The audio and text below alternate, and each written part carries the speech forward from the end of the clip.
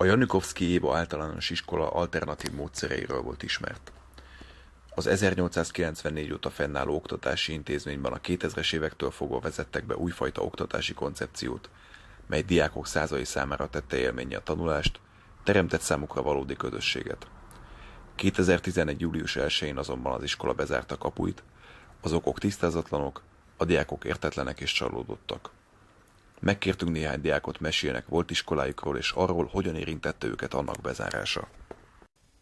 Hát mind a, mind a három év nagyon jó volt. Jók voltak ott a tanárok is, az osztályban is, mindenki jó volt. Mert én nagyon szerettem iskolába járni, nem csak azért, mert tanulni hát ott, hanem a haverok miatt is szerettem oda járni. Ott olyan is, hogy amikor egy új gyerek jött az osztályunkba, mind, szinte majdnem minden évben jött hozzánk, és akkor ő nagyon hamar beilleszkedett a közösségbe.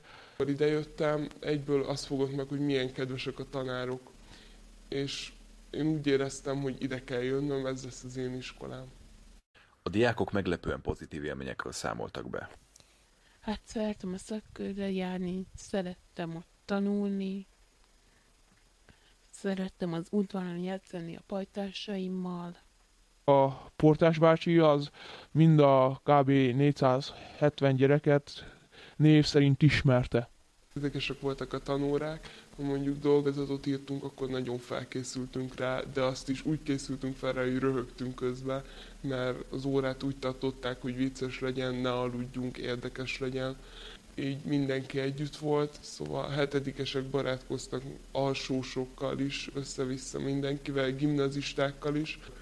Jó, van, amikor az órák elteltek azzal, hogy arról beszélgetünk, hogy ki mi szeretne lenni, hogy hova, hol szeretne tovább tanulni, meg az érzéseinkről. Volt olyan, hogy például, ha összezöldült az osztály, ami nagyon ritkán volt, akkor is a tanárok jöttek, segítettek, és megoldottuk így a problémát. Osztálytársak megértik egymást. Az iskola gondoskodása nem ért véget a kicsengetéssel. Játszottunk, kirándultunk,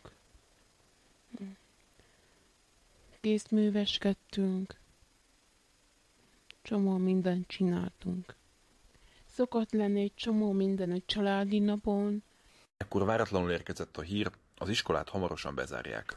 Anya mondta, hogy be fogják zárni az iskolát, én egyből bezárkóztam a szobámba, és elkezdtem sírni a párnámon, mert nagyon rosszul esett.